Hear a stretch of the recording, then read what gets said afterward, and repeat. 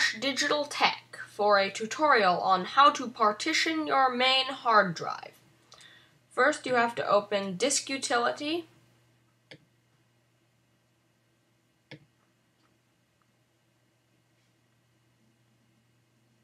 You select the drive you want to partition, click Partition, and you click plus, and you decide what size you want. You can slide it around.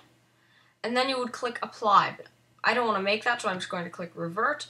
And one, if you click, once you click apply, um, you'll have to wait a minute, and then you will have two different drive partitions.